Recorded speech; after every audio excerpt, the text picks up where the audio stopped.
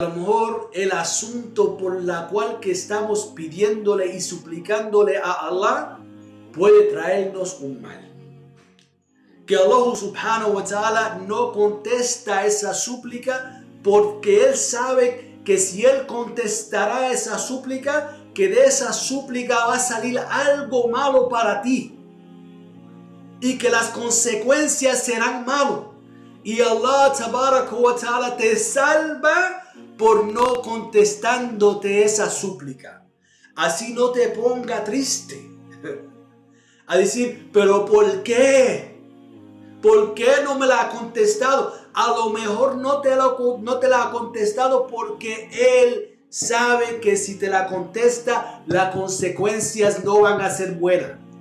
So te aleja de eso, salvándote la vida, salvándote la alma, salvándote la espiritualidad y tu fe.